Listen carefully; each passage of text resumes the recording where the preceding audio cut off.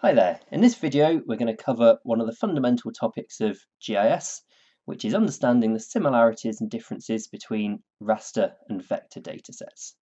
So raster and vector are our two most common data types and they're very different in terms of what we can do with them um, and how they look. So it's important to understand those differences. So let's dive straight in and start off with vector data.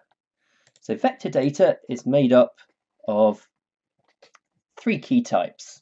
Points, which can be connected to form lines, which in turn can be joined up to create polygons. So points, lines and polygons are our three types of vector data. Now because it's made of points connected with lines, essentially coordinates, no matter how much we zoom in on our vector data, it still looks nice and sharp and crisp on our screen. And that's quite different to raster data. So if I turn on a raster data layer here, when we're zoomed out, it looks nice and sharp. But essentially raster data is like a digital photograph. So it's made up of a series of pixels. And as we zoom in on the screen, we can see that the quality of the data starts to break down and the individual pixels making up our image become visible. So while vector data looks clear no matter what our zoom level, raster data is designed to work at more specific zoom levels and will degrade if we zoom in too far. But it's not just the appearance that's different between raster and vector data types. So if we go back to our vector data again, one of the most useful features of vector data is that it not just not only displays our data on the screen, but we can also add attributes to this data. So we have an attribute table with a number of columns um, that link to our, our data sets. And each row within this attribute table relates to a feature on our screen. So as we select different rows, we can see that different features become selected within our GIS layer. And all of our types of vector data have attributes associated with them. Um, so if we open the point layer here, we can see it just has a single column within the attribute table, um, providing an identifier. If we open up the roads layer, we can see that there's multiple attribute columns giving us identifiers, road names, road numbers, classifications. Um, and attributes tables can contain all types of information, um, both text and numeric values. And this allows us to carry out various different types of analysis, selecting subsets of the data using those attributes.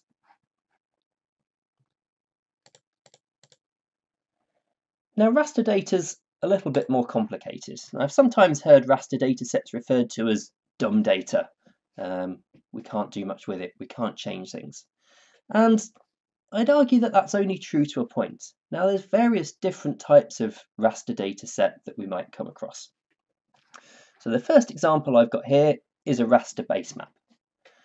And this is reasonably dumb data. There's not too much that we can change about this base map without going into some kind of image editing software like Photoshop and changing the colors, turning it black and white, um, for example.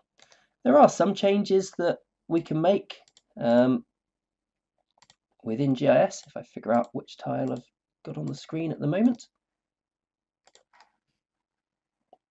In our GIS properties, we can change things like brightness, saturation, um, we can make it grayscale. So there are various things we can change about this base map um, within GIS.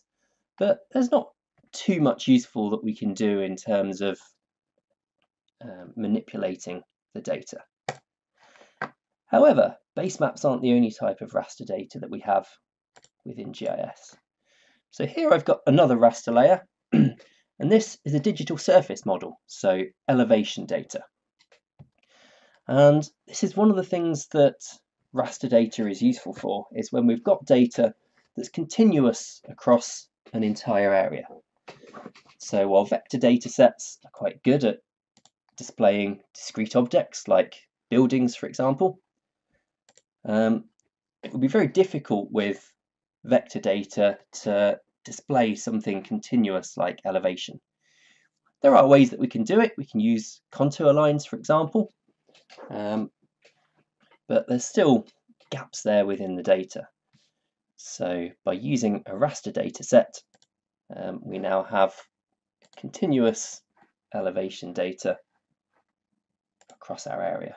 And if we use the info tool here, we can click on any point and we can actually get the value of elevation, so 87.497 meters um, above sea level in this instance, at any point across our area. And we can do further analysis with this. So with the raster tools we have available to us, we could reclassify this to identify areas below and, above and below a certain threshold, for example. Um, or we can visualize the data in different ways. So, for example, rather than grey, we could apply a color ramp um, to help help visualize the data. So it's not tr quite true that, that raster data is dumb data, um, and we do have attributes associated with it because this elevation value here is in itself an attribute value. And obviously elevation isn't the only type of continuous data that we have. It could be anything. It could be noise levels, it could be pollution levels, um, it could be deprivation levels. There's all kinds of data that we can represent using raster layers if we want to show it as a continuous surface across an area. And actually what we can do with raster data doesn't end there because our first base map was a, a color image. Um, our elevation data was what is known as a single band image, so a raster layer containing just one set of values. Um, but we can also have what are known as multi-band images.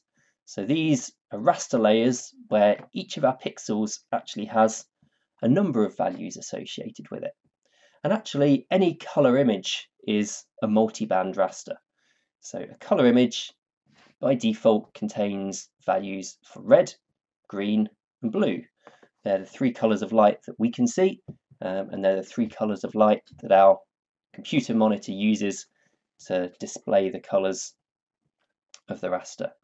And if I click on a pixel in this satellite image, um, we can see that in fact the image that I'm looking at now contains four bands. Um, in this case, band 1 will be blue light, band 2 will be green light, band 3 will be red light, and band 4 will be near infrared. So what I'm displaying on the screen at the moment is actually what's called a true colour composite image made up from the blue, green and red bands that gives us a true colour image um, equivalent to, to what we would see if we were looking down from space. But we can actually manipulate this a bit further. We can switch around the bands that we're looking at. So I could change it, for example, so that our red band is actually not displaying red, it's displaying near infrared. Um, I'm going to use the green band to display red, and somewhat counterintuitively, the blue band to display green. I can apply that, and we now have what's called a false color composite image. So I'm actually displaying different bands. Um, and in this case, near infrared is showing up as bright red, which is showing us where we've got nice, healthy vegetation. And again, we can check that by clicking on that pixel um, and seeing the value for band 4, which is near infrared. We can see how that's much brighter than, than the other bands. So while raster data doesn't have attributes in quite the same way that our vector data sets do. Um, it's not quite true to say that it's dumb data. Each pixel does have values associated with it, and we can use those values to carry out further analysis, whether that's a single value like elevation, or whether it actually has multiple values, as in the case of multi-band satellite imagery, um, which allows us to carry out tasks like image classification, which use the patterns in brightness across different bands to identify different land cover types across our image. Okay, and that's in a nutshell, the difference between raster and vector data types within GIS.